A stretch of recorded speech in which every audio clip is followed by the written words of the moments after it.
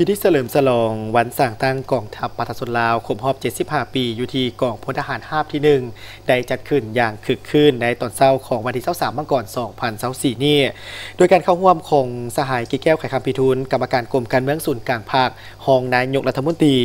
มีบรรดาการนำภาครัฐการนำกระทรวงป้องกันประเทศ การนำแขวงวิ่งจันทร์แขวงเสสมบูรณ์คณะพักคณะปัญษาพนักงานนักฮบ กองพลที่ 1 พร้อมด้วยพนักงานปฏิบัติอาวุโสบำนาญวิรสนแห่งชาติวิรสนแข่งขัน ตลอดฮอด น้องน้อยเยาวชนและมวลชน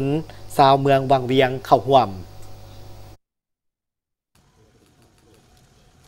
ในพิธีสหายพลจัตวาอุ่นจันต์แดงปันสมหัวหน้าการทหารกองพลที่หนึ่งได้อ่านคำสั่งประจำวันของกระทรวงป้องกันประเทศ และกล่าวคำปราศัย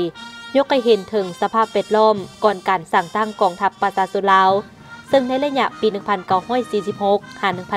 1949 ปฏิบัติตามแนวทางการต่อต้าน ยืดเยื้อยาวนาน เด็ดขาดมีไซของพรรคทุกกำลังได้หันลงสู่ชนบทสร้างเขตที่มันก่อสร้างภาคทานในหมู่ประชาชนปลุกระดมกลควายประชาชนก่อสร้างกำลังประกอบอาวุธอยู่ท้องถิ่น ปฏิบัติยุทธศาสตร์สงครามกองรอน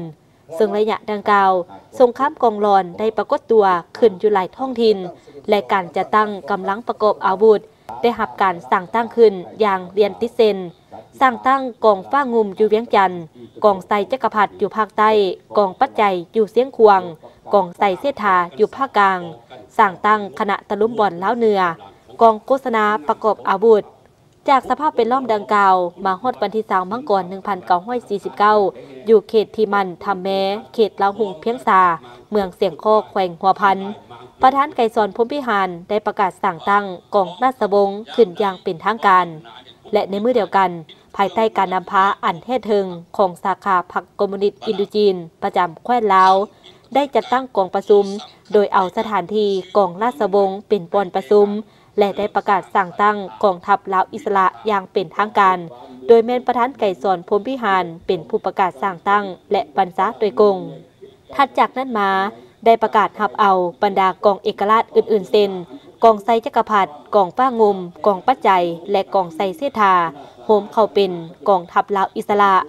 นับแต่นั้นมาวันที่3มังกรปี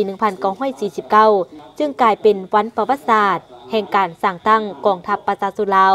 การกำเนิดและการขยายตัวของกองทัพประชาสุลาว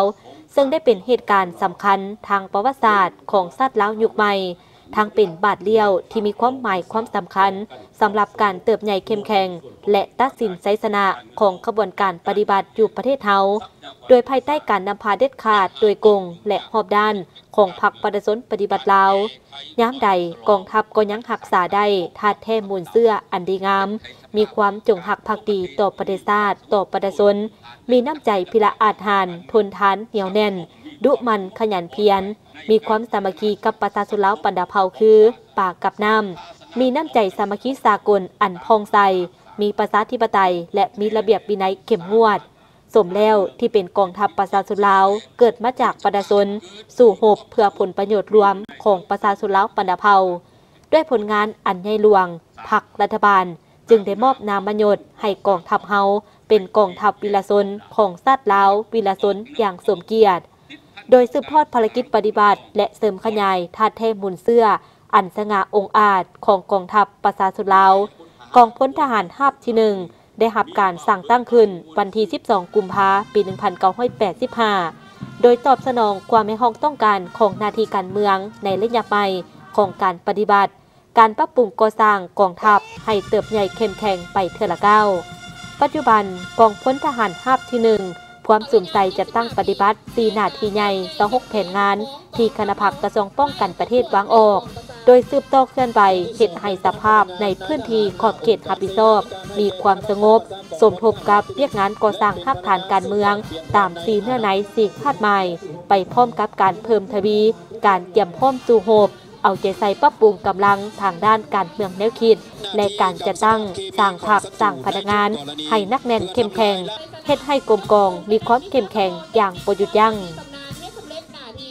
ในโอกาสอันมีความหมายความสำคัญนี้สหายกีแก้วไข่คำบิทูลก็ได้เน้นนักให้คณะพักคณะบรรษาพนักงานหนักหบกองพลที่หนึ่งจงเสื้อสูสติระวังตัว มีสติในการปกปักรักษา แนวทางนโยบายของภาครัฐปกปักรักษามากผลของการปฏิบัติ ปกปักรักษาระบอบใหม่ประชาธิปไตยประชาชนไว้ให้มั่นคง เพิ่มทวีการเหตุเบียกงานก่อสร้างหากฐานการเมือง ติดพันกับการพัฒนาชนบทรอบด้าน สามทิศสามสร้างกรมกองตั้งทัพอยู่บอนใด ต้องเฮ็ดเวียกก่อสร้างหากฐานอยู่บอนนั้นให้ดี ต้องปรับปรุงแบบแผนพิธีเฮ็ดเวียกให้มีลักษณะปฏิบัติปุกมีปิทยาศาสตร์แทบตัวจริงและโปร่งใสมีการแบ่งงานมอบหมายความรับผิดชอบอย่างจะแจ้ง สืบต่อปกปักรักษาและเสริมขยายหมุนเสื้ออันดีงามของตน ต้องตั้งหน้าปรับปรุงกำลังในทุกด้าน ให้นักแน่นเข้มแข็ง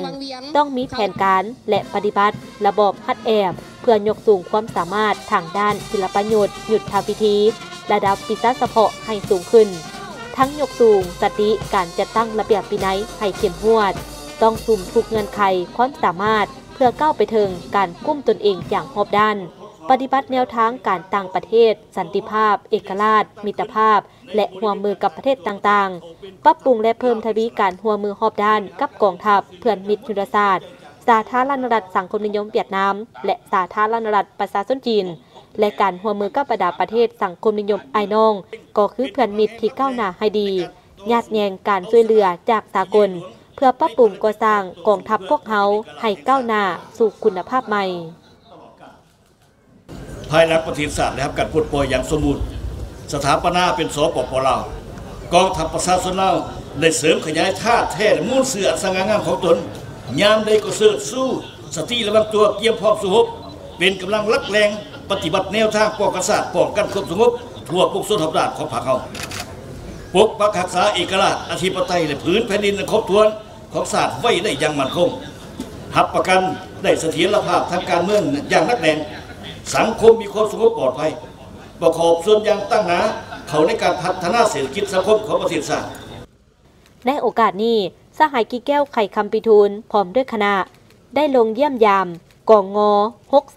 631 และมอบเครื่องอุปโภคบริโภค เครื่องลินกีฬา และเงินจำนวนหนึ่ง ให้แก่กองพลทหารห้าที่หนึ่งเพื่อนำใส่ภายในกรมกองของตนเติมอีก